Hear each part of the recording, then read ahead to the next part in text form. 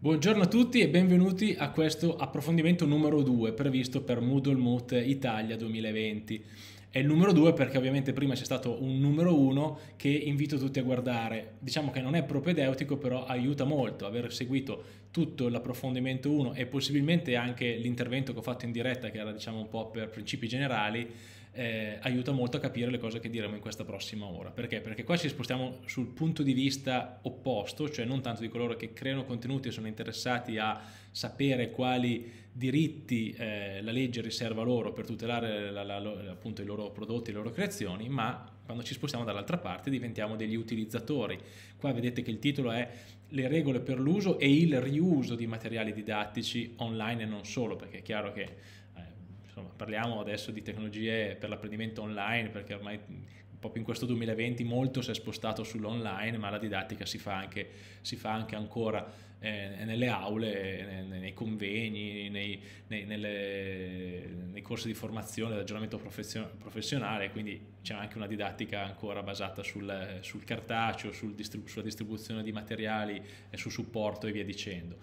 eh, appunto detto questo, sa, conoscere la, la parte diciamo dell'approfondimento 1, cioè conoscere quali sono i diritti che entrano in gioco ci rende la vita più facile anche ora, anche in questo, in questo secondo approfondimento eh, in cui l'ottica è opposta, cioè sapere, eh, per, per coloro che sono interessati a sapere quali utilizzi possono fare delle opere degli altri, è utile conoscere quali sono i diritti che entrano in gioco capite? Quindi invito tutti a um, eventualmente, se avete del tempo che avanza, fare pausa su questo, su questo secondo approfondimento e iniziare dal, dal primo che, come dire, come eh, diciamo, eh, prevede un percorso logico un po' più solido e, e chiaro in questo modo.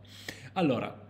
le solite slide di presentazione, eh, vi, vi, vi, rimando più che altro a slide share perché è lì che troverete queste slide se vi servono proprio la presentazione slide a sé stante senza il video e le altre 150 e più slide che io prima di questo momento ho eh, sviluppato e che continuo a, ad aggiungere, ad arricchire sul mio profilo slide share, lì trovate davvero tantissima roba, anche sul mio canale YouTube troverete eh, corsi che sviluppano questi stessi argomenti sia dell'approfondimento 1 che dell'approfondimento 2 con molto più dettaglio. Quindi per chi fosse interessato e particolarmente incuriosito da alcune slide magari può trovare, un, um, può trovare spunti per fare un passo ulteriore in quei video. Eh, vi invito a seguirmi. Eh, avrei piacere che eh, se, se, se le, le mie attività le cose che vi dico il mio approccio vi piace, vi è gradito e vi è stato utile, vogliate seguire la mia pagina Facebook, eh, il mio canale Twitter e il, il, um, il, profilo su LinkedIn. Attenzione che appunto eh, Facebook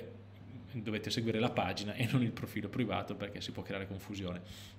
Eh, lascio come al solito il riferimento bibliografico, il libro Didattica 2.0 in cui nel capitolo 5 ho eh, approfondito, sono circa 18-19 pagine, quindi eh, una lettura abbastanza breve che possiamo dire essere la dispensa di riferimento per questi due approfondimenti, per questo corso eh, online asincrono. Ehm, e si intitola Il diritto d'autore e le licenze open nell'attività didattica. Direi un titolo molto molto descrittivo e anche abbastanza, se, se fate caso, abbastanza aderente a, a, ai titoli del, del, dei due approfondimenti di oggi. Ehm, ecco, ripartiamo da qua, cioè questa slide l'ho usata anche nel, nel, nell'approfondimento 1 cambia la freccia, nel senso cambia la direzione, cambia il punto di vista.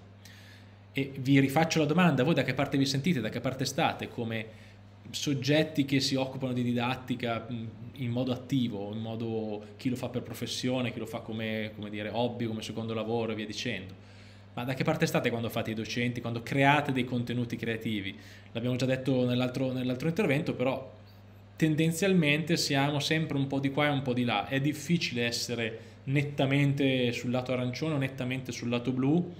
perché, perché il, il, modo, cioè la, la, creatività digitale ci spinge sempre a muoverci a cavallo di quella riga bianca che vedete, che vedete lì in mezzo. Ora però, in questa prossima ora, eh, cercheremo di guardare eh, la, la materia secondo il punto di vista blu, cioè secondo il punto di vista degli utilizzatori, di coloro che eh, utilizzano opere già create in precedenza da altre, da altre persone e vogliono sapere quali, in quali limiti e in quali termini possono farlo, possono riutilizzare le opere di altri. e ho diviso il, il seminario in due, due grandi parti, no? una che vedete si intitola, che è questa, la prima, ehm, pubblico dominio e altri casi di libero utilizzo delle opere, cioè tutti quei casi in cui, secondo la legge, è già possibile utilizzare eh, le opere liberamente senza dover acquisire licenza, chiedere permesso, pagare dei diritti. E diciamo le due, eh, due ehm, sottoinsiemi di questa parte, cioè diciamo, le due eh, estrinsecazioni di questa prima parte sono il pubblico dominio e, eh, e, le cosiddette libere utilizzazioni che più propriamente dovremmo chiamare eccezioni al diritto d'autore, dopo ve le spiego meglio. Allora, questa, questo schema è, è, già comparso anche lì, ma adesso l'ho, vedete, circoscritto, nel senso che quel, quello schema, cioè quell'ellisse verde ci fa capire di cosa, di cosa ci occupiamo. Quindi abbiamo già spiegato che la regola è che tendenzialmente tutto è sotto copyright, no? Perché il copyright scatta automaticamente, perché gli autori hanno automaticamente tutto il fascio di diritti per tutelare la loro creatività. E dall'altra parte abbiamo detto che ci sono delle eccezioni e noi adesso cominciamo a mettere a fuoco queste eccezioni. E quindi, vedete, due, le, le, i due temi Oggi ci occuperemo sia appunto di quello in questa prima parte di, di, ciò che è cerchiato in verde, cioè il pubblico dominio e i casi di libero utilizzo stabiliti dalla legge, e poi nella seconda parte ci sposteremo di qua e finiremo diciamo, lo schema, l'ultima gamba a destra dello schema che eh, si occupa del, del, libero utilizzo stabilito dal titolare dei diritti con il simbolino delle Creative Commons che dopo vi spiego meglio.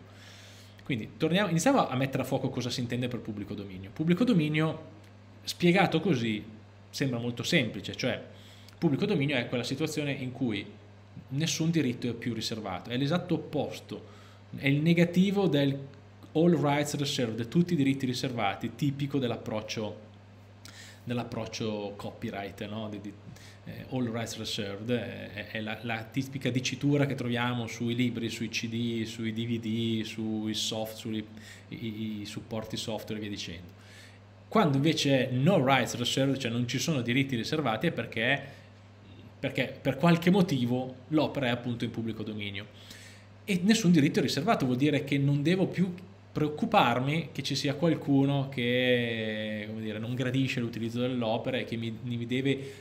mi, deve, o meno autorizzare a fare questo utilizzo. Quindi l'utilizzo è libero senza condizioni. Classico esempio, la, le opere della letteratura eh, diciamo, dei classici della letteratura sono cadute in pubblico dominio perché gli autori sono morti da più di 70 anni e quindi io se voglio eh, ripubblicare le, so, le, le, pezzi, un pezzo dei Promessi Sposi non devo più preoccuparmi che il Manzoni o un suo, una sua casa editrice o una sua agenzia mi, mi possa impedire questo e, mi, e io, debba, io, mi debba sentire obbligato a chiedere il permesso. Questo è il concetto di pubblico dominio, quindi opere che diventano patrimonio culturale dell'umanità. Però per andare un po' più a un livello di dettaglio, vedete, ci sono altri casi, cioè guardiamo bene eh, come si può estrinsecare il fenomeno del pubblico dominio. Quello di cui vi ho parlato, eh, cioè il caso in cui sono scaduti i diritti, quindi l'opera cade, si dice tecnicamente, in pubblico dominio, è il caso B, in mezzo a questi, a questi tre casi della slide. Vedete che nel caso B ho segnato una, una, una notazione, un nota bene, che non è sempre facile da definire e ho segnalato il caso di, di, del diario di Anna Frank, di cui adesso vi racconto brevemente. Cosa è successo? Allora, dico che non è sempre facile da definire perché in alcuni casi si creano delle situazioni di poca chiarezza sulla eh, effettiva caduta in pubblico dominio, quindi un'opera che era fino ad un certo punto tutelata, alcuni pensano che sia diventata libera e invece secondo altri eh, non lo è. Ed è esattamente quello che è successo al diario di Anna Frank. Diario di Anna Frank, eh, secondo alcuni, sarebbe caduto in pubblico dominio il primo gennaio del 2016, perché? Perché Anna Frank è morta, come sapete, nel 1945, quindi i 70 anni dalla sua morte, che vanno calcolati come anno solare intero, quindi dal primo gennaio dell'anno successivo, ovvero primo gennaio 2016, si pensava che l'opera fosse caduta in pubblico dominio. Intendo l'opera in versione originale, perché le traduzioni e le rielaborazioni chiaramente sono ancora coperte perché ci sono i diritti di coloro che hanno, che hanno rielaborato e hanno tradotto l'opera. Però il testo originale, secondo alcune associazioni ehm, attente al tema della dire, sensibilizzazione sulla Shoah, sul, su, sui crimini del nazismo e via dicendo, avevano diffuso il diario, il testo del diario di Anna Frank come opera in pubblico dominio. Pochi giorni dopo era arrivata la lettera dei legali della Fondazione Frank che segnalavano che secondo loro quell'opera non era affatto caduta in pubblico dominio per un motivo sottile ma tipicamente da cavillo legalese, cioè secondo l'impostazione della Fondazione Frank il diario di Anna Frank che noi siamo abituati a leggere, che abbiamo più o meno letto tutti al liceo, ehm, non è un'opera scritta unicamente da Anna, ma anche diciamo rielaborata in forma narrativa da Otto Frank, da suo padre, il quale appunto raccolse i, suoi, i, suoi, appunti, il suo diario e eh, li diciamo, mise insieme per tirar fuori quello che, che conosciamo essere il libro, il romanzo che, che, che appunto tutti leggiamo e, e che è ben noto. Ergo, i 70 anni della morte non vanno calcolati dalla data di morte di Anna, ma vanno calcolati dalla morte dell'ultimo coautore, di tutti gli autori, cioè l'opera deve essere caduta in pubblico dominio secondo i diritti di tutti gli autori. Quindi in questo caso, se si vuole considerare Otto Frank coautore dell'opera, ne esce che i 70 anni si vanno a calcolare dalla morte di, di Otto Frank che è avvenuta negli anni 70, quindi molto dopo, e quindi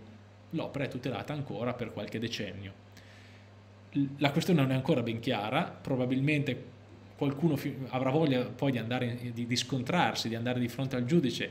contro appunto la, la Fondazione Frank per mh, reclamare questo, questo, diritto a riutilizzare liberamente il diario, ma nel frattempo, vedete, l'opera è stata tolta, cioè le associazioni che avevano diffuso quel testo, inibite dalla, dalla, dalla lettera di diffida degli avvocati, hanno rimosso il contenuto e quindi l'opera non è davvero considerabile ora in pubblico dominio.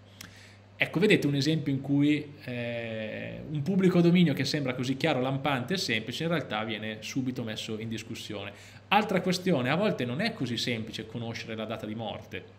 Qui vi ho fatto un esempio di due soggetti abbastanza noti, perché Anna Frank tutti sanno che in che data è morta, anche perché basta pensare come è morta e più o meno riusciamo a collocare la sua morte in un periodo storico molto triste e drammatico è di Otto Frank, se cercate su Wikipedia esce una biografia e quindi c'è la sua data di morte, ma non sempre siamo così fortunati eh, ad avere a che fare con opere di autori famosi che hanno una, una, biografia su Wikipedia o sulla Treccani o da qualche altra parte. E quindi, classico esempio, in un archivio storico, in una biblioteca locale, insomma, opere di autori non particolarmente famosi che magari ci interessa poter riprodurre e diffondere, mm, non riusciamo ad avere questa informazione, cioè non sappiamo bene quando è morto l'autore, non sappiamo bene se, sono, se in quell'opera c'erano altri autori, ad esempio. Quindi anche il pubblico dominio nel caso B, che è quello più comune, quello più noto, in realtà nasconde una serie di eh, eh dire, aree grigie che vanno indagate. Um, eh, completiamo la slide, quindi al, riprendo l'ordine, vado al caso A. Il caso A io lo chiamo public domain by law, cioè un pubblico dominio per legge, cioè un pubblico dominio che è stabilito a priori dalla legge. Cioè ci sono casi in cui ehm, il legislatore stesso ci dice che un certo tipo di opera, per alcune opere che hanno alcune caratteristiche, non sono tutelate dalla, dalla legge, nonostante siano opere creative. Scusate, non siano tutelate dalla legge sul diritto d'autore, intendevo ehm, nonostante abbiano quel famoso carattere creativo che fa scattare automaticamente la, la, tutela. La legge italiana ha un articolo molto stringato, molto asciutto, che è l'articolo 5 della legge sul diritto d'autore, che si, occupa dei testi ufficiali delle, dello Stato e delle pubbliche amministrazioni, cioè dice che questi testi ufficiali sono fuori dal campo del diritto d'autore in concreto di cosa, cosa stiamo parlando? So, il, la, eh, il, testo della delibera di un sindaco o di un eh, presidente di regione eh, che chiude le scuole, classico esempio, i giornalisti che la mattina dopo sul giornale vogliono riprodurre interamente il testo della delibera non devono chiedere il copyright, non devono chiedere una licenza di copyright all'ufficio del sindaco, all'ufficio del, della regione per ri, riprodurre interamente il testo. È un atto ufficiale, quindi quello è di pubblico dominio fin dall'inizio, nonostante sia un atto cioè un'opera creativa con una certa, cioè un'opera che ha una certa creatività intellettuale, perché scrivere una delibera, scrivere un documento di quel tipo richiede comunque una competenza tecnica e un certo sforzo intellettuale che può essere considerato creativo. Un altro esempio, i testi delle sentenze. Le sentenze per chi insegna diritto, ad esempio, ecco il mio caso, nel senso io spesso quando faccio lezioni di diritto oppure quando pre- preparo materiali, quindi preparo libri, preparo eh, slide, vado a pescare dalle sentenze della Cassazione, sentenze del Consiglio di Stato, sentenze dei tribunali per dimostrare che quello che io sto raccontando non me lo sto inventando, ma ha una, una radice, una fonte più, più solida. Eh, ecco, in quel caso non devo chiedere il permesso al giudice che ha firmato la sentenza, nonostante ci sia il nome, nome e cognome del giudice compare in fondo alla sentenza. E quindi è lui teoricamente l'autore e quindi titolare del diritto d'autore, ma essendo lui in quel momento giudice del Tribunale di Genova, ehm, sta agendo in nome del popolo italiano, no? come le sentenze sono intitolate in nome del popolo italiano e quindi non ricade sotto la tutela del diritto d'autore. Gli americani hanno una versione molto più estesa, gli statunitensi, di, questa, di questo principio. Loro hanno una legge, un, un articolo del Copyright Act americano che esclude dal diritto d'autore tutto ciò, tutte le opere prodotte da un dipendente del governo federale nell'esecuzione delle sue mansioni ufficiali, che vuol dire molta più roba capite? Non è solo l'atto ufficiale, ma è qualsiasi cosa prodotta, quindi anche il video, anche le fotografie, i reportage, eh, le banche dati, so, tutto ciò che viene sviluppato da, da, un dipendente del governo federale, quindi non di tutta la pubblica amministrazione americana, ma del governo federale, va in pubblico dominio, il che vuol dire che sui siti eh, di, di, questi enti, degli enti tendenzialmente che hanno un dominio.gov, abbiamo tantissimo materiale che è in pubblico dominio. Andate a cercare e vedrete che questa, spesso compare questa annotazione sotto i materiali. Ehm, il punto C invece lo ritroveremo dopo, però ve lo anticipo, riguarda un pubblico dominio invece possiamo dire artificiale, cioè un pubblico dominio che viene creato anche prima che siano passati i famosi 70 anni dalla morte. Ovvero, in che modo si fa? Lo si fa attraverso un atto di rinuncia, cioè l'autore, il, titolare, il titolare dei diritti, eh, rinuncia definitivamente e eh, diciamo eh, anticipatamente rispetto alla, alla scadenza naturale all'esercizio dei suoi diritti. Facciamo un esempio concreto, io se volessi rilasciare queste, queste slide che state vedendo o questo video in, in, una situazione di pubblico dominio, dovrei allegarvi non una licenza Creative Commons, ma appunto un CC0. CC0 è una cosa ancora più forte di una licenza, perché è una rinuncia ai diritti.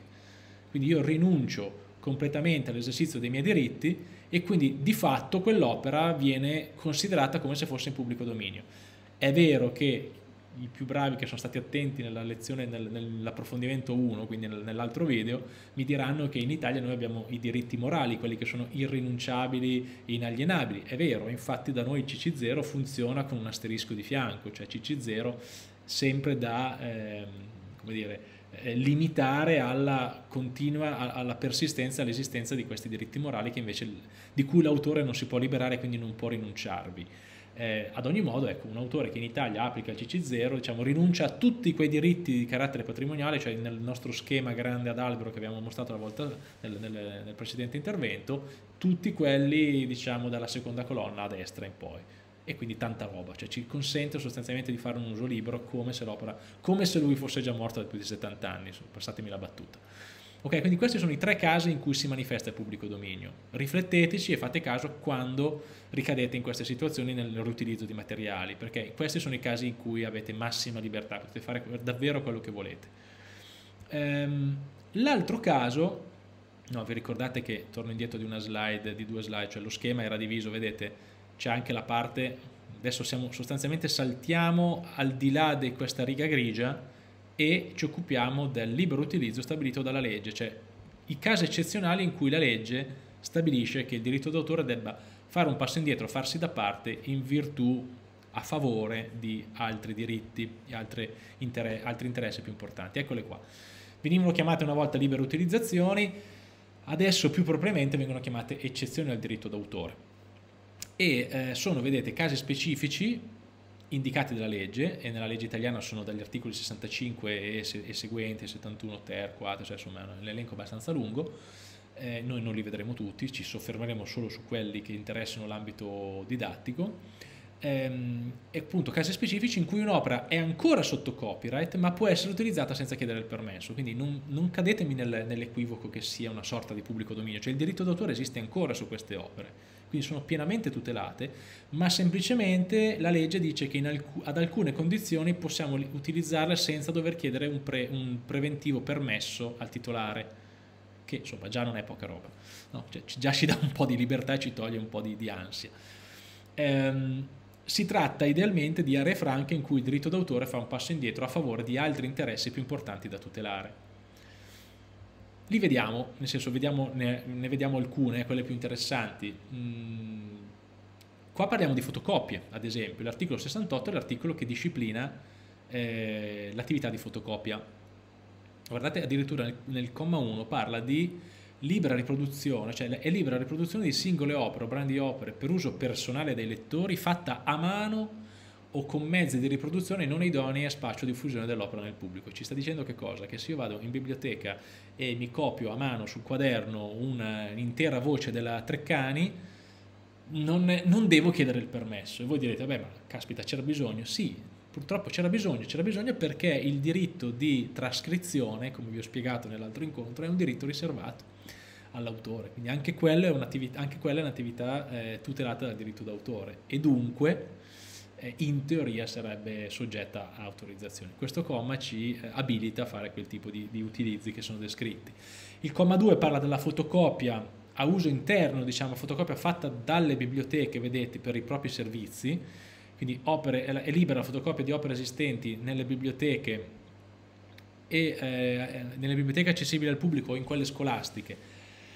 nei musei pubblici o negli archivi pubblici effettuata dai predetti organismi per i propri servizi senza alcun vantaggio economico, commerciale diretto o indiretto. Quindi non è tanto la fotocopia che fate voi come singoli utenti, è la fotocopia che viene fatta dagli uffici della, della biblioteca o della scuola o del museo o dell'archivio per i propri servizi.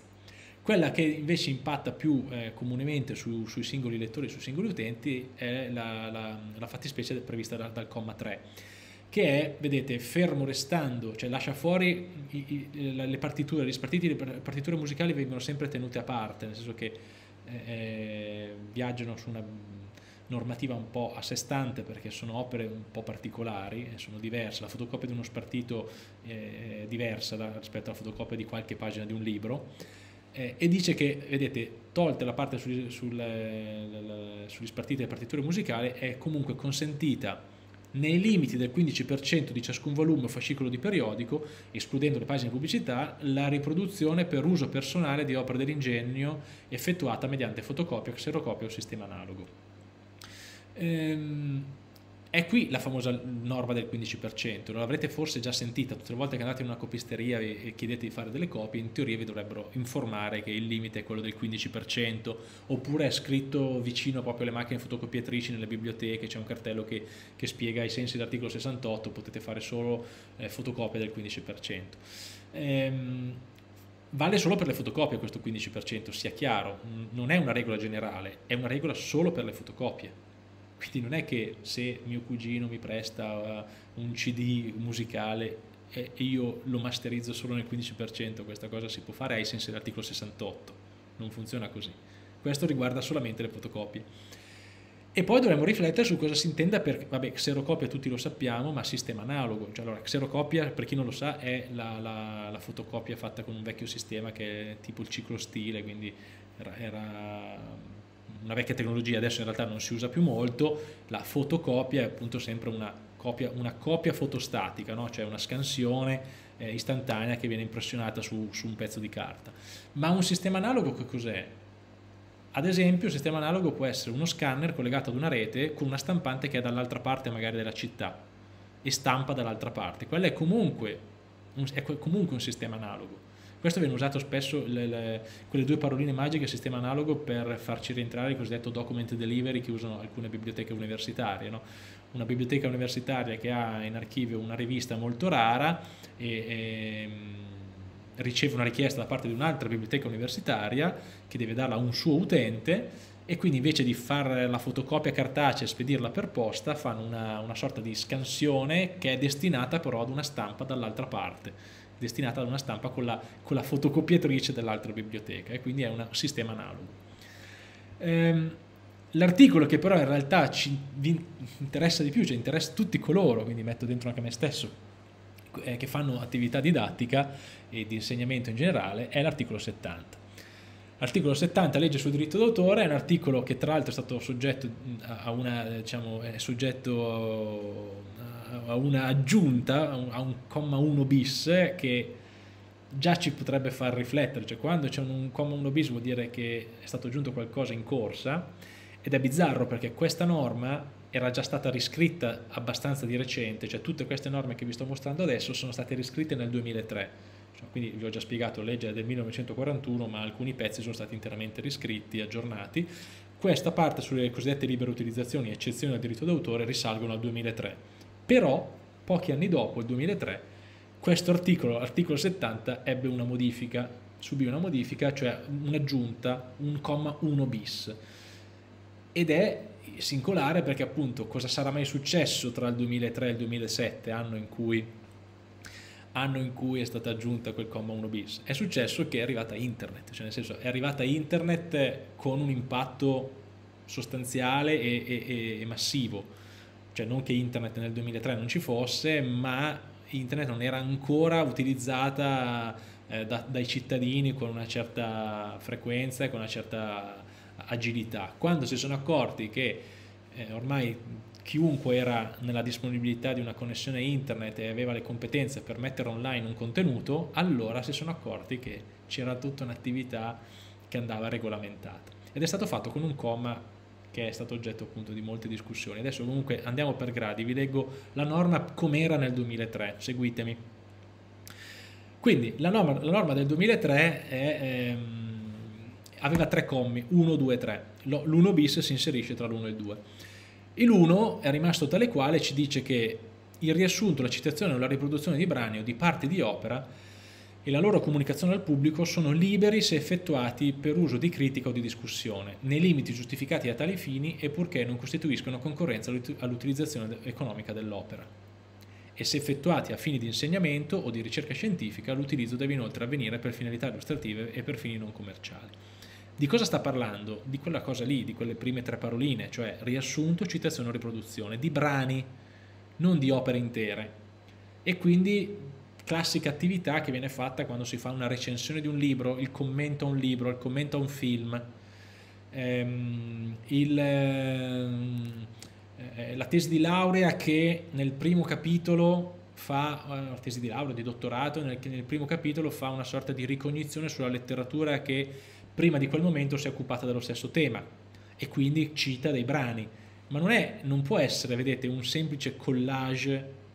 di eh, citazioni, ma essere, devono essere effettuati, vedete, per uso di critica o di discussione e nei limiti giustificati a tali fini, e purché non costituiscano concorrenza all'utilizzazione dell'opera. Cioè, questi, questo, questa critica e discussione deve limitarsi a brani o parti di opere e non arrivare ad un punto tale per cui,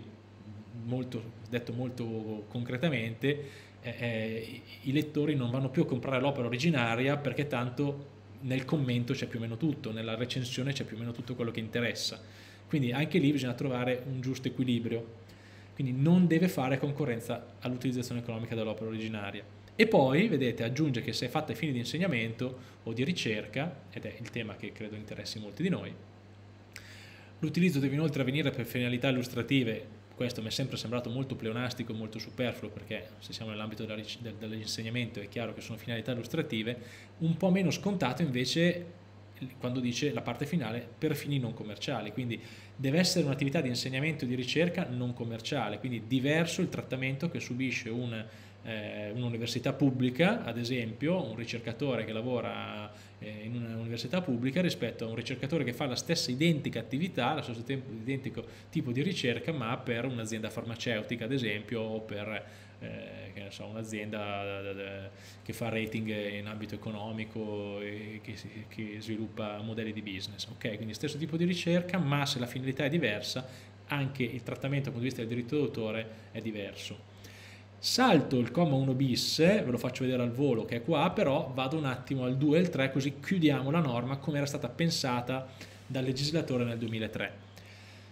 Il comma 2 parla di antologia d'uso scolastico. Ecco, non so qui eh, quanti di, di, coloro che stanno seguendo eh, si sono occupati o si vogliono occupare di antologia ad uso scolastico, è un settore molto eh, eh specialistico dell'editoria e nella maggior parte dei casi sono gli editori a, un, a darvi un supporto anche diciamo, legale anche sulla, su, su, questo aspetto. Vi dico solamente che allora, la norma dice che la riproduzione, vedete, non può superare la misura, la misura determinata dal regolamento, il quale fissa le modalità per la determinazione dell'equo compenso. Cioè, cos'è che ci sta dicendo? Ci sta dicendo che a seconda del tipo di antologia che faccio, del tipo di opere che vado a, a, a, riutilizzare in questa antologia, quindi antologia di prosa, antologia di poesia e via dicendo, posso prendere certe, diciamo, certe quantità di righe, di pagine dal libro originale, dall'opera originale. E questo è scritto nel regolamento attuativo. Non posso fare una slide con queste norme perché verrebbero tipo 5 slide fitte fitte, sono norme abbastanza dettagliate. Vi invito per solo coloro che sono interessati ad andare a leggere. Il regolamento attuativo è un decreto, un regio decreto che... Ehm, che completa diciamo, le norme della legge sul diritto d'autore del 633 del 41 eh, ma come dicevo chi fa questa attività nella maggior parte dei casi fa riferimento al suo editore che eh, lo, lo, lo, guida in, in, questa, in, questa, attività. Il comma 3 chiude il cerchio e ci dice che tutte le volte che facciamo queste attività, quelle comprese, tutte quelle comprese diciamo, da questo articolo 70, anche quelle del, del comma 1 bis che dopo vedremo, devono essere accompagnate da, eh, da la menzione del titolo dell'opera, dei nomi dell'autore, dell'editore e se si tratta di traduzione del traduttore qualora tali indicazioni figurino sull'opera riprodotta. Quindi se io utilizzo roba di altri, devo citarlo, ma non è che la citazione, il, dire che, che, viene da lui, che, che, quel, che, il contributo è di un altro, è, un, è, è, è un'opera di, di, Galateo, cioè non è un, un, una gentile concessione, un'opera, una, un'attività che, rientra nell'ambito del Galateo dell'educazione, è un obbligo giuridico, perché in mancanza della citazione viene meno l'autorizzazione viene meno il diritto, viene meno il, il, la libera utilizzazione, l'eccezione dell'articolo 70. Ok? Quindi, e in più a questo andrebbe aggiunto il famoso eh, diritto morale d'autore, articolo 20, la legge sul diritto d'autore che abbiamo citato nel, nell'altro, nell'altro eh,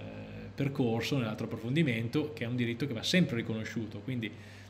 dovete sempre ricordarvi di menzionare tutti questi soggetti, ovviamente dice la norma qualora tali indicazioni figurano sull'opera riprodotta. Se sull'opera, se sul libro il traduttore non è stato messo, eh, non è che io devo no, attivarmi, chiamare la casa editrice per farmi dire il nome, è sufficiente indicare tut, le indicazioni, diciamo, le, le, le, le, informazioni che sono, che sono contenute nel libro. Arriviamo poi finalmente a questo comma 1 bis, e così capite cosa è successo. No? Vi dicevo che è, legato alla diffusione di internet ed è legato ad una storia interessante che riguarda un insegnante e che vi invito ad andare a leggere. Se voi cercate ancora adesso, eh, non so, mettete su Google eh, Homo laicus eh, SIAE copyright, qualcosa del genere, vi vengono fuori degli articoli che raccontano la storia di questo insegnante eh, di scuola media superiore che eh, si trovò in una situazione non piacevole perché nel, nei primi anni 2000, appunto, quando entrarono in vigore queste norme 2003-2004, ehm, mise in piedi un sito, un sito web di divulgazione culturale che si chiama Homolaicus, esiste ancora se lo cercate, ehm, in cui sostanzialmente condivideva sulla rete i materiali didattici che lui realizzava. Quindi attenzione perché è esattamente l'attività che, che, che, che ci interessa, no? mettere a disposizione online dei materiali didattici. Lui prendeva le cose che faceva a lezione, che utilizzava lezione e le metteva online, pensando che fosse più o meno la stessa cosa. Quindi un po' di ingenuità bisogna riconoscergliela. Un conto è diffondere, utilizzare un contenuto di fronte ad un'aula che è chiusa e che riguarda 20-25 ragazzi. Altro conto è mettere la stessa cosa su un server, su una pagina web aperta al pubblico, a cui non, non accedono solo i miei studenti, ma accede in teoria tutto il mondo tutti coloro che per, per qualche motivo passano di lì. E quindi è chiaro che impatta in modo diverso dal punto di vista del diritto d'autore. Lui probabilmente a questa cosa non ci aveva pensato, oppure ci aveva pensato e, e, e confidava che non fosse così grave. Fatto sta che eh, tra le opere che lui aveva riprodotto e utilizzato su questo sito c'erano anche opere eh, tutelate dal diritto d'autore, quindi non solo classici della letteratura o della, della storia dell'arte, ma anche ad esempio quadri di Picasso, di, di De Chirico, quindi di, di, di, moderni, di autori moderni o contemporanei che sono chiaramente ancora tutelati un per un bel po' di anni ancora. E quindi eh, dietro segnalazione la SIAE si accorse di questo sito e eh, emise una sanzione applicò una sanzione di circa 4.200 euro, adesso se leggete gli articoli troverete tutta la storia, però insomma 4.000 qualcosa euro per un insegnante di scuola media superiore che come potete conoscere, sapete meglio di me qual è, qual è il, il, lo stipendio medio di un insegnante, aveva destato non poche critiche no? anche dal punto di vista politico, aveva, era, era, si era aperto un po' un caso, no? cioè, sembrava un po' cattivo come tipo di, di, di, provvedimento, ma allo stesso tempo la SIAE diceva che in quanto ente che ha anche una funzione amministrativa di controllo non poteva discrezionalmente eh, lasciar correre di, di, fronte ad una situazione del genere. Il problema non era nella SIAE, il problema era nella legge, cioè mancava mancava un'eccezione al diritto d'autore che consentisse agli insegnanti di un di, eh, di avere un minimo di agio nella loro attività di divulgazione culturale, che è esattamente quello che in questi mesi ci siamo trovati a dover affrontare. Ok? Cioè, in questi mesi molti si sono trovati a dover fare lezioni da casa, ad esempio a fare le letture di libri online e cosa hanno fatto? Le hanno fatte su YouTube. Eh, ahimè non funziona così perché fare una, lezione di Harry, una lettura di Harry Potter, di interi capitoli di Harry Potter su YouTube, vuol dire che non sto facendo un'attività didattica rivolta ai miei studenti, ma sto facendo intrattenimento culturale rivolto a, potenzialmente a tutto il mondo, a tutti coloro che vengono su questa pagina YouTube o questa pagina Facebook. E quindi la Rowling, la casa editrice di YouTube, di, scusate, di, YouTube di, di, Harry Potter, probabilmente non gradisce questo uso. E se tornate indietro, se andate a cercare sulle, sulle sul mio, sulla mia pagina Facebook avevo fatto una bella diretta su questo, su questo argomento proprio in pieno, pieno, lockdown in aprile del 2020 in cui raccontavo quali erano i vari, i vari diciamo, retroscena di queste attività non possiamo andare appunto così, troppo, eh, così tanto nel dettaglio, leggiamo cosa dice finalmente questo comma 1 bis, cioè il legislatore onde evitare che con l'esplosione, con l'esplosione di internet e con la diffusione di internet come fenomeno di massa e eh, con diciamo, la, la, la, l'affacciarsi dei docenti di scuola, delle scuole pubbliche al mondo della rete, ehm, poi fossero emersi anche tanti casi omolaicus e quindi tante multe, tante sanzioni anche, anche in situazioni in cui in realtà non c'era tutto questo danno e in realtà appunto c'era un'attività di divulgazione culturale arriva questo comma 1 bis che viene aggiunto nel 2007. Dice è consentita la libera pubblicazione attraverso la rete internet a titolo gratuito di immagini e musiche a bassa risoluzione o degradate per uso didattico o scientifico e solo nel caso in cui tale utilizzo non sia a scopo di lucro. State molto attenti, cioè fate molta attenzione ai requisiti. Questa è la norma probabilmente più importante di questo nostro percorso perché, vedete, parla proprio della divulgazione, della diffusione di, di, di contenuti attraverso la rete internet.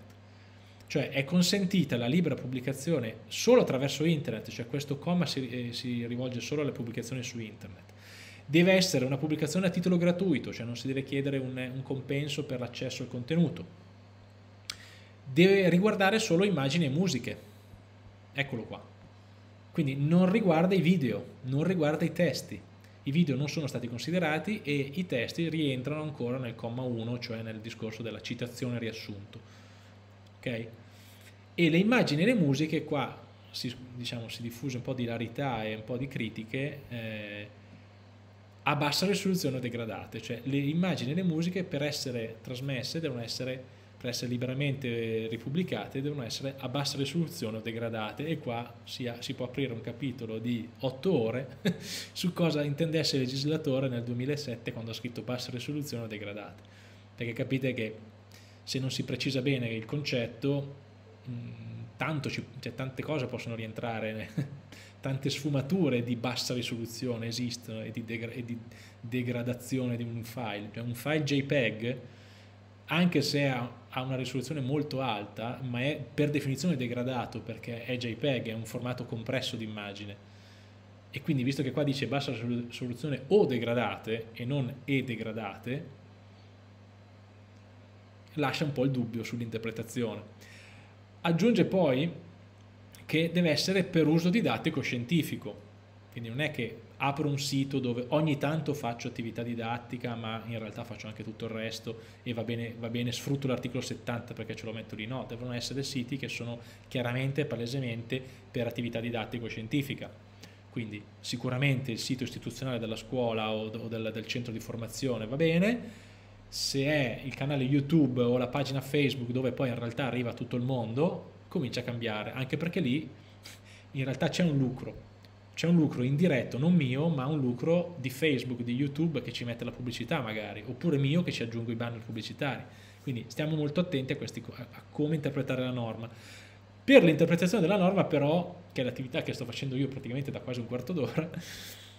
in realtà noi dovremmo andare a vedere un'altra è un altro testo normativo, cioè il decreto, il classico decreto attuativo, no? quando arrivano norme poco chiare il legislatore ci dice no ma tanto te lo spiego dopo in un altro decreto devi, come, devi, come devi considerare questi concetti. Ma questo decreto non è mai arrivato, quindi il famoso decreto attuativo del comma 1 bis, di, questo articolo, eh, di questo decreto sono circolate delle bozze, ma non è mai stato approvato nulla e quindi pur essendo passati ormai 13 anni pieni, quasi 14, noi non siamo ancora oggi in grado di capire bene cosa volesse dire il legislatore. Dall'altro lato però prendiamo quello che c'è, nel senso la norma è scritta così, eh, è in vigore, è pienamente in vigore da ormai 13 anni, quasi 14, quindi la norma esiste. In questi casi cosa fa il giurista? Cerca di interpretare il testo così com'è e fa affidamento sul buon senso della giurisprudenza, cioè i giudici poi avranno modo di... Eh, diciamo sartorialmente applicare e, e, e, calibrare tutte queste situazioni riassunte in queste, in queste quattro righe e applicare ai casi concreti. Di giurisprudenza su questa norma non ce, ne sono, non ce n'è ancora perché è troppo giovane, non ci sono stati casi che hanno portato a sentenze importanti che io vi possa citare, quindi ci dobbiamo limitare a fare questo commento. Eh, però ecco, tenetevela lì perché questa, cioè, salvatevela da qualche parte perché questo è davvero il comma che tiene in piedi buona parte delle attività di didattica online. Vado avanti e arrivo alla parte relativa a, ehm, all'immagine delle persone, cioè quindi quando io eh, utilizzo immagini, fotografie o video in cui ci sono persone ritratte, in cui ci sono persone riconoscibili, si pone anche un problema a cavallo con la privacy. No? Eh, qua noi parliamo principalmente di diritto d'autore di copyright, non tanto di privacy, però ecco gli articoli 96 e 97 della legge sul diritto d'autore si occupano di un tema che è in un certo senso sovrapponibile e incrocia il terreno della, del diritto alla privacy, del diritto delle norme sulla tutela dei dati personali. Perché? Perché l'immagine di una persona è anche un dato personale, cioè la mia, eh, la, la mia immagine è anche un dato personale, so, soprattutto adesso in questi ultimi anni in cui i miei tratti visivi possono essere utilizzati anche da sistemi automatizzati per riconoscermi, per far aprire un cellulare, per far funzionare un computer. Ok, quindi i cosiddetti eh, dati biometrici. Eh, quindi occhio a questo aspetto. Leggiamo però cosa dice. Ecco, la legge sul diritto d'autore in ottica di libero riutilizzo ci dice che tendenzialmente dobbiamo riconoscere questo diritto d'immagine alle persone ritratte, quindi se c'è una persona ritratta io devo farmi dare liberatoria, devo farmi dare un'autorizzazione allo sfruttamento e all'utilizzo della sua immagine, ma dall'altro lato ci dice che in alcune situazioni non devo chiedere il consenso. Ed è quello che ci interessa, ovvero leggiamo l'articolo 97 dice che non occorre il consenso della persona ritratta quando la, la riproduzione dell'immagine è giustificata dalla notorietà dell'ufficio o dall'ufficio pubblico coperto, quindi questa è una prima giustificazione, una prima causa che esclude la necessità di consenso. No? Arriva eh, so, un cantante famoso a fare una inaugurazione nel mio paese, faccio le foto e quindi non è che poi devo chiedergli... Eh, eh, faccio le foto per un giornale o per il mio sito, per quello che voglio, non devo chiedergli eh, questo diritto d'immagine, l'autorizzazione perché è noto, è un personaggio famoso, ancor più se è un ufficio pubblico, cioè se è il sindaco, se è l'assessore, se è il, eh, il politico che viene a fare un comizio elettorale e via dicendo. Oppure anche da necessità di giustizia o di polizia, cioè quando, non, cioè, quando la polizia eh, rilascia sui, sui media, su, su sui siti web o su un giornale la fotografia di un boss mafioso che è ricercato, è, chiaro che non va a chiedere ai suoi parenti il permesso di utilizzare l'immagine, c'è una necessità di giustizia, di polizia e quindi la gente deve davvero vedere che faccia questo tizio per poterlo il prima possibile rintracciare. E quindi quello è un altro caso, non credo che ci riguardi, però insomma. Eh, ecco un altro caso interessante, i famosi scopi didattici, scientifici e culturali. Eh, c'è scritto davvero culturali, ma perché la legge ha un... questo articolo viene da, dal, dal, 1941. Ehm,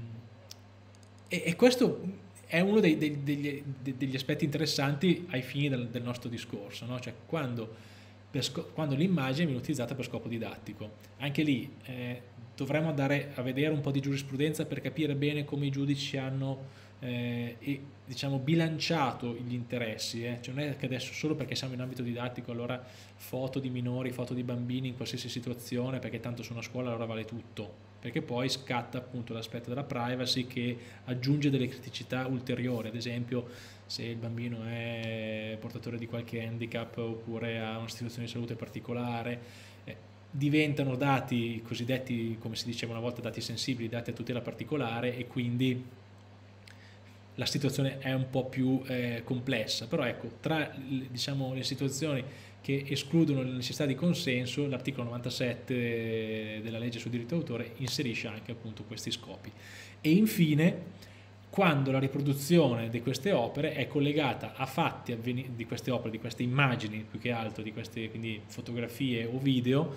è collegata a fatti, avvenimenti e cerimonie di interesse pubblico svoltisi in pubblico. Un classico esempio, non so, un privato cittadino, che quindi non è un cantante, non è un politico, però partecipa, decide di partecipare ad una assemblea sindacale o a una manifestazione sindacale in una piazza, si mette con lo striscione in prima fila, è chiaro che il giorno dopo la sua immagine verrà eh, pubblicata su qualche telegiornale o su qualche giornale. No? E quindi in quel caso lui non ha diritto a chiedere un compenso per lo sfruttamento della sua immagine e dare un consenso, perché lui era,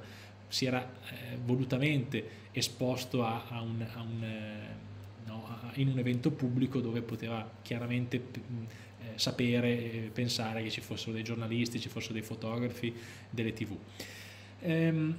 aggiunge poi la norma che il ritratto non può tuttavia essere esposto o messo in commercio quando l'esposizione o messa in commercio rechi pregiudizio all'onore, alla reputazione o anche al decoro della persona ritrattata. Si potrebbe aprire tutto un capitolo di, di, di casi legati al cosiddetto no, eh, attività dei paparazzi, le, il gossip, il cosiddetto gossip, cioè quei giornali che pubblicano proprio le foto rubate e più sono scabrose, più sono fastidiose e più fanno notizia. No? Ecco, in teoria in tutti quei casi c'è una violazione di, queste, di questi principi. Okay? Perché anche il personaggio famoso, anche la, la, il personaggio noto, il politico, ha comunque diritto ad una certa, eh, anche se più ristretta, ad una sfera di privatezza, di riservatezza. No? Eh, e quindi appunto in quei casi si va a valutare, cerca, i, i, giudici fanno un bilanciamento tra i vari interessi, tra i vari diritti che entrano in gioco. Non possiamo andare così tanto appunto a livello di dettaglio, però secondo me questa norma è molto utile, è scritta in modo abbastanza chiaro e vi, vi, vi invito appunto a tenerla presente. La liberatoria però ecco, è quello strumento che eh, ci libera in tutti quei casi che rimangono fuori dall'articolo 97, cioè tutti quei casi in cui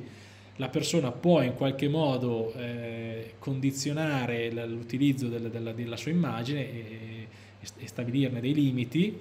e, e, quindi deve darci un consenso, lo si fa attraverso questo strumento. La cosiddetta liberatoria altro non è che un pezzo di carta o anche un, un, un form compilato online, un'email inviata,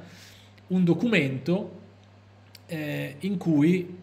tizio titolare del diritto d'immagine, cioè della persona che è ritratta e riconoscibile in un'immagine o in un video, ci autorizza a farne diffusione e a fare uno sfruttamento economico eventualmente. Ok, quindi è il documento con cui il titolare del diritto d'immagine esprime il suo consenso alla diffusione della fotografia o del video in cui egli è ritratto. E riconoscibile ovviamente, perché se la persona non è riconoscibile non ha senso andargli a chiedere, no? eh, darsi da fare per chiedere liberatorie. Eh, è meglio che questa liberatoria sia in forma scritta e come ho detto forma scritta può essere anche una forma scritta digitale, quindi un'email, un form compilato, un pdf inviato e via dicendo, e provvista, provvista di chiari riferimenti ai diritti concessi e agli utilizzi previsti. Quindi dire chiaramente che voi chiedete consenso per diffondere quel video su YouTube, non dire genericamente ci dai il, il permesso a utilizzare il tuo video, dire, essere più precisi possibile evita poi scocciature in futuro a, ehm, no, nel caso qualcuno dica ah, no ma io questa cosa non, non, la, non, non l'avevo capita, non me l'aspettava, allora devi rimuoverlo, no? a essere dettagliati e precisi evita che poi qualcuno possa ritrattare. Eh, finita la parte sulle cosiddette eccezioni al diritto d'autore e libere utilizzazioni, vado alla seconda parte che invece è quella sulle licenze open, cioè riprendo il mio eh, schema eh, che è un po' la mappa orientativa di questi nostri incontri e eh, eccolo lì, il cerchiolino in verde, l'ellisse in verde si è spostato sul lato, eccolo qua, sul lato finale, cioè sulla gamba finale dello schema, cioè il libero utilizzo che è stabilito direttamente dal titolare dei diritti, cioè è il titolare dei diritti che per sua libera scelta applica una licenza alla sua opera e quindi ci concede il libero utilizzo. Ed è esattamente quello che faccio io, questo, che sto facendo io in questo momento, perché dopo se andremo avanti vi faccio vedere le slide, alla fine delle slide c'è una bella indicazione con queste slide e questo video sono rilasciate sotto licenza Creative Commons. Quindi anche questo video è rilasciato sotto una licenza, così lo anticipiamo, una licenza Attribution Share Alike, che è la licenza utilizzata anche da, da Wikipedia, che ehm, consente di utilizzare in modo molto libero questo mio prodotto, questa mia creazione, anche a scopi commerciali, consentendone anche le modifiche, anche le opere derivate, a due condizioni, che io venga sempre citato come autore, originale, come autore dell'opera originale, e che nel caso di opere derivate, anche le opere derivate mantengano la stessa licenza. Quindi chiunque voglia prendere queste mie slide e farne ad esempio un'infografica o farne un video divulgativo, deve rilasciare anche il video divulgativo o l'infografica con la stessa licenza che io ho applicato. In questo modo si trasmette a cascata il, il regime di libertà che io ho, ho, dedicato, che ho utilizzato per questa, per questa mia eh, opera. Dopo questa diciamo, introduzione vi ho praticamente già detto chi è l'assassino della storia, quindi forse vi ho tolto un po' il gusto, ma cominciamo a capire bene che cos'è una licenza. Licenza deriva dal latino licere e eh, quindi l'etimologia è permettere, autorizzare, cioè licere è il verbo latino che ci indica un permesso, quindi tutte le volte che c'è licenza, la parola licenza ci deve venire in mente che c'è qualcuno che sta dando un permesso a qualcun altro. Apro un bar e ho bisogno della licenza, voglio, fare, voglio mettere in piedi un'attività di taxi, di, di, di, di trasporto, con, con, noleggio con conducente, ho bisogno di una licenza e c'è un ente, una, un ente amministrativo, una, un'autorità che mi può dare questa licenza. Qua siamo nell'ambito però della proprietà intellettuale, del diritto d'autore e quindi la licenza chi è che ce la darà? Ce la darà il titolare dei diritti, cioè colui che ha il copyright, che ha i diritti d'autore.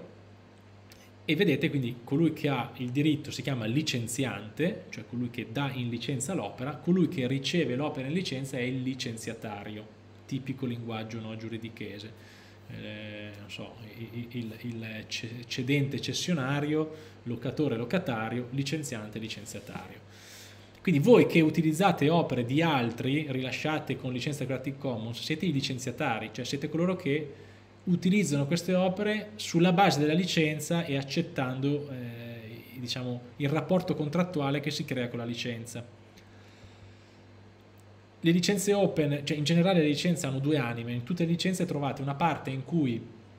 eh, si dicono quali usi, cioè in cui il titolare dei diritti ci dice quali usi possiamo fare dell'opera, cioè la parte con le libertà concesse sostanzialmente, e poi una parte in cui ci dà delle condizioni, cioè ci richiede di rispettare alcune condizioni, alcuni limiti d'uso. A cambiare è la proporzione tra queste due anime, cioè quando prevale l'anima eh, delle libertà concesse parliamo di licenza open, che è il tema di questa nostra parte. Quando, quando prevalgono le condizioni imposte, cioè quando in una licenza leggiamo che le libertà concesse sono molto molto risicate, ma c'è parte tutto poi un elenco di condizioni, di limiti che, vogliamo, che dobbiamo rispettare, allora quella viene chiamata licenza proprietaria. È quello che succede quando apriamo so, una licenza di, di, un software eh, proprietario. No? So, provate a leggere la licenza del vostro sistema operativo Windows o del vostro sistema operativo macOS e vedrete che in realtà sono più che altro un elenco di divieti.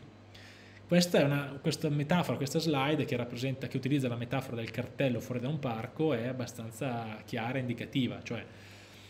la licenza proprietaria, vedete, è un cartello in cui di fatto ci dicono che possiamo entrare nel parco ma non possiamo fare molto. Sì, ok, sei benvenuto nel parco, però non puoi cogliere i fiori, non puoi fare il picnic, non puoi portare il cane e non puoi accendere fuochi, ok? E quindi vabbè, so che posso entrare ma ho una serie di limitazioni. Dall'altro lato la licenza open è invece un cartello che oltre a darci il benvenuto e a farci entrare in realtà ci sta dicendo anche quante, quante cose possiamo fare all'interno del parco, no? quindi eh, puoi entrare dalle ore 9 alle ore 18, puoi raccogliere i fiori, puoi, eh, puoi fare il picnic, puoi portare il cane, puoi giocare a calcio, ma non puoi accendere fuochi, no? perché comunque una licenza deve avere ha sempre un minimo di limitazioni, perché se non ci fossero limitazioni non sarebbe nemmeno una licenza, sarebbe quello che abbiamo prima chiamato un CC0, cioè un pubblico dominio, un liberi tutti, fai quello che vuoi della mia opera. Ok? Su questa metafora iniziamo a vedere quali sono le vere eh, licenze Creative Commons, cioè io qua ho una slide che solitamente un po' di anni fa quando c'era in giro il libro, il film 50 sfumature di grigio faceva ridere, adesso fa un po' meno ridere perché non tutti collegano, però le licenze Creative Commons creano 6 sfumature di open, non proprio 50, eh, cioè creano delle sfumature intermedie tra questo nero e bianco, no? tra questi due estremi che sono il copyright e il pubblico dominio. No? Li abbiamo visti questi due estremi, o un'opera è completamente tutelata oppure è completamente fuori dal copyright, oppure devo sfruttare una di quelle libere utilizzazioni, eccezioni che abbiamo visto prima, che però sono molto molto ristrette e stabilite dalla legge. Altra soluzione per avere una sfumatura di grigio all'interno di questo bianco e nero è chiedere, cioè far, far leva sulla, ehm, sulla libera scelta del titolare dei diritti, cioè il quale è lui che sceglie di rilasciare liberamente un'opera. Poi possiamo entrare in aspetti psicologici del come mai qualcuno debba rinunciare a dei diritti che la legge automaticamente gli, gli, gli regala, no? gli, gli, dona. E, e, lì, insomma, è tutto un aspetto forse appunto più psicologico-filosofico. Io sono stato uno dei primi in Italia ad adottare queste licenze e, e, e devo dire che ne ho trovato, ne ho, ne ho avuto grande, grande beneficio, nel senso che le mie opere hanno avuto una visibilità estremamente eh, più ampia, estremamente maggiore di quella che eh, avrebbero avuto se io avessi scelto un approccio copyright tradizionale e mi fossi fatto pubblicare da, i libri da qualche eh, casa editrice appunto vecchio, vecchio stampo. No? Quindi su quello vi lascio, vi lascio riflettere del qual è, quali sono le, le, le, dire, le leve psicologiche eh, o modelli di business che, che gli autori o gli editori possono scegliere, possono perseguire nel, scegliendo di utilizzare queste licenze. Dal punto di vista giuridico mi interessa che voi conosciate appunto la gamma di queste sei sfumature che vediamo in questa prossima slide. In questa vi, vi lascio solamente lo spunto di un video che è molto bello, fatto molto bene, molto chiaro, dove dovreste guardarlo tutti, dura 7 minuti, non potevo metterlo all'interno di questa nostra video lezione perché sennò andavamo fuori tempo, però lì c'è il link, lo trovate anche su YouTube. Eh, però le sei licenze, vedete, sono fatte, sono formate dall'incrocio di queste quattro clausole base, no? che sono le quattro caratteristiche di, delle licenze Creative Commons che poi danno il nome alle, eh, alle sei licenze, che sono queste qua, cioè queste sono le famose sfumature di grigio, no? Cioè dovremmo mettere, probabilmente invertire la slide, sdraiarla e avremo attribution dalla parte destra, cioè dove c'era quasi vicino al pubblico dominio, e attribution o commercial dono derivatives, l'ultima dalla parte un po' più nera dove c'è il copyright. Però vedete che ho messo 6 più 1, perché? Perché c'è anche il CC0. 6 più 1 perché il CC0 non è,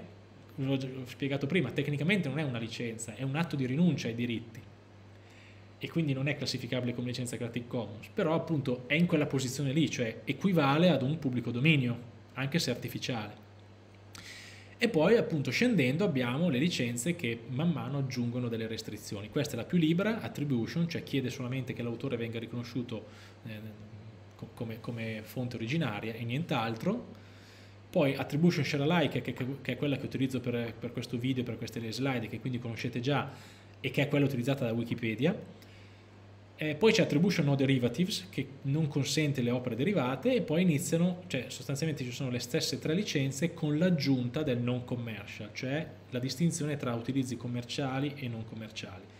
Quindi un attribution non commercial share alike è più o meno la stessa cosa di quella della mia licenza, la licenza utilizzata per, per, questo, per questo video, ma non consente gli usi commerciali, quindi fa una distinzione, cioè se, fa, se utilizzi le mie slide per scopi commerciali lo puoi fare, eh, non lo puoi fare, se lo fai invece per scopi eh, diciamo di eh, no profit, divulgazione culturale in ambito didattico, invece lo puoi fare.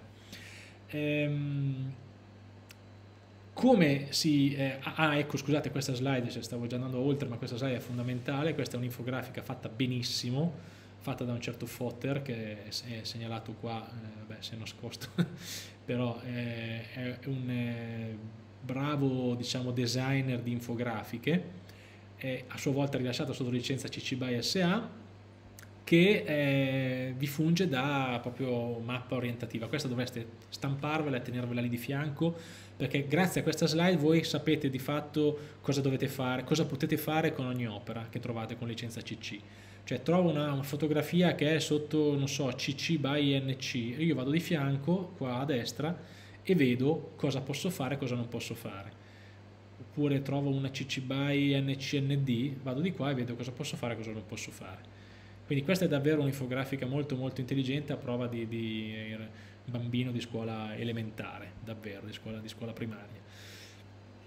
Ehm,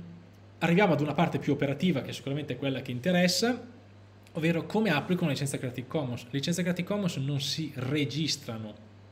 questa è una delle grandi leggende, no? Da un lato abbiamo spiegato, cioè le licenze Creative Commons non sono una fonte di tutela, una forma di tutela delle opere, perché la tutela viene dal diritto, non dalla licenza, mi raccomando, questo concetto è fondamentale, le licenze non tutelano,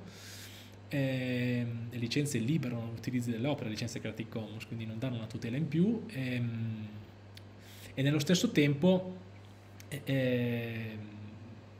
cioè, sono, sono, strumenti che ci aiutano a eh, liberare le opere mantenendo comunque quel, quel legame, no? cioè non, sono, non, è un CC0, quindi mantengono un legame con l'autore, ecco perché alcuni cadono nell'equivoco del, del, del, dell'opera, della licenza che è tutelata, che è una forma di tutela in più, no? cioè il, il, l'autore che aggiunge questo attribution pensa che, eh, una, che questo attribution dia una garanzia in più, in realtà la legge già prevede che, che l'autore debba essere riconosciuto, le Creative Commons servono per fare eh, per una, andare nella direzione opposta, andare nella direzione della libera fruibilità, nella libera concessione delle opere. Okay? Ehm, dicevo, l'autore che vuole applicare una, eh, sua, su, su, una sua opera una licenza Creative Commons può farlo passando da qua, ovvero eh, Passando dal sito creativecommons.org, choose, dove vi stavo dicendo non vengono registrate le opere, cioè voi non è che, state, non è che fate un upload della vostra opera e Creative Commons la registra da qualche parte, non è così, spesso questo è un, è un equivoco che passa. In realtà Creative Commons vi guida semplicemente alla scelta del, della licenza che fa il caso vostro e vi fornisce dei metadati, cioè vi fornisce una stringa di codice che voi potete andare a eh, nascondere, infilare nel file della vostra opera e questo è rappresentato in questo screenshot che vi ho messo. Purtroppo non abbiamo il tempo per fare tutta la procedura dal vivo. Ci sono i miei video eh, di altri corsi che ve lo spiegano meglio. Però sostanzialmente cosa fate? andate sul sito Creative Commons rispondete a queste, a queste domande due domande che sono consenti che vengano condivisi adattamenti della tua opera e permetti che la tua opera venga utilizzata a scopi commerciali rispondendo a queste due domande sì, no, sì, no, fin tanto che ehm, lui vi, genera, vi dice qual è la licenza che avete scelto e sotto vi fornisce, vedete qua a destra, i metadati per poter ehm, metadatare vostra, il vostro file, il vostro file musicale, la vostra foto e via dicendo. E poi in un'altra schermata che è eh, facoltativa, possiamo dire, vi permette di aggiungere ulteriori metadati, non so, il nome dell'autore, il nome del, del, del il sito web a cui volete che venga, che venga eh, collegata, il, che venga collegata all'opera, eh, l'opera originaria da cui voi avete fatto una, un'opera derivata e via dicendo. No? Ma sono semplicemente dei metadati in più, quindi non è che vi danno una tutela, danno però sicuramente un'informazione in più agli utenti, agli utilizzatori, ai cosiddetti licenziatari dell'opera, quindi sarebbe utilissimo conoscerli e utilizzarli, cioè sarebbe indicato utilizzarli. Però, visto che noi stiamo parlando dei, del, del, lato degli utilizzatori, guardiamo cosa succede quando siamo dall'altra parte, cioè cosa succede quando ci, ci servono delle opere sotto licenza Creative Commons e eh, le andiamo a cercare sulla rete, no? tendenzialmente. E lo facciamo dove? Lo facciamo o su un motore di ricerca specifico, cioè un motore di ricerca appositamente creato per cercare opere sotto Creative Commons, e questo è uno, cioè è il motore di ricerca fatto da Creative Commons, e vedete lo trovate all'indirizzo search.creativecommons.org. Vi si apre una semplice schermata da classico motore di ricerca ehm, e lui va a cercare mettendo un filtro. Vedete qua sotto vi permette anche di eh, tagliare la vostra ricerca, renderla molto più, ehm, molto più precisa. Cioè io voglio solo i contenuti che siano ad esempio modificabili e adattabili, cioè perché devo fare un'opera derivata, mi serve un'immagine per fare, ecco, sono l'ufficio turismo del, sono una, un, una biblioteca o una scuola che, che, deve fare una ricerca sulla Sardegna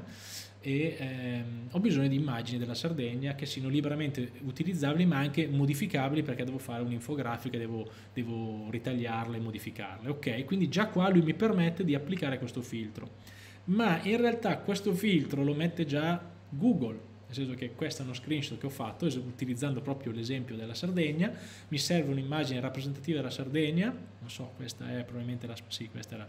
la spiaggia di Stintino, e ehm, mettendo, ho messo genericamente Sardegna, lui mi ha aperto delle immagini e senza mettere nessun filtro lui mi dà tutte quelle che Google, che Google Immagini indicizza, cioè tutte.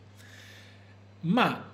aprendo la tendina diritti di utilizzo che quasi nessuno mai dire, si, si trova sotto strumenti, no? il tastino strumenti, si apre una serie di filtri che comprendono anche i diritti di utilizzo e quindi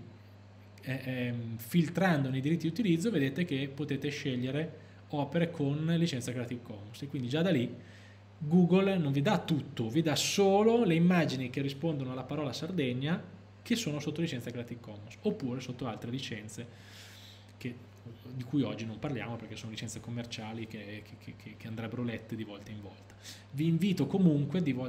a, a, leggere ogni volta la licenza, cioè si apre una, un'immagine dovreste poi andare a, nella fonte originaria, quindi non, non fermarvi a Google, a Google Immagini, ma aprire il sito della fonte originaria e vedere, verificare qual è sotto la licenza. Ehm, nient'altro, nel senso che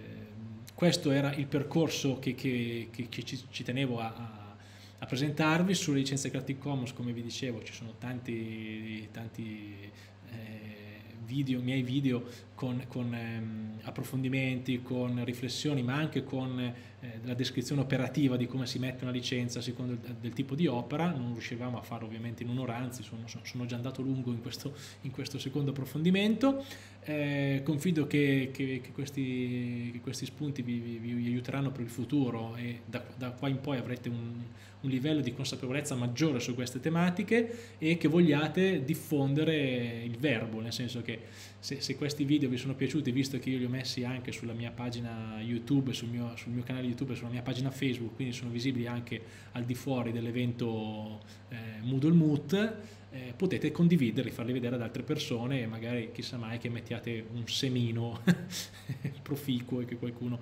pian piano conosca meglio questi argomenti. Quindi mi, vi aspetto su questi miei tre canali, Facebook, Twitter e LinkedIn e Dulcis in fundo, eccola qua. Oltre a ringraziarvi per l'attenzione vi segnalo che questa mia presentazione, questo mio video sono sotto licenza Creative Commons Attribution Share Alike. Cliccando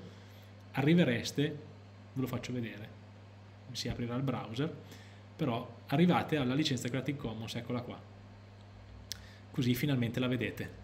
Direi che è un, anzi ve la faccio vedere in italiano così la conoscete meglio. Eccola qua, attribuzione condivide allo stesso modo 4.0 con, guardate, le famose due anime. Tu sei libero di, cioè le libertà concesse, alle seguenti condizioni, le condizioni imposte che sono solamente due in questo caso. Direi che questa è una degna conclusione, vi ringrazio e in bocca al lupo per tutto, per le vostre attività creative online e finalmente nel pieno rispetto del diritto d'autore. Grazie, arrivederci.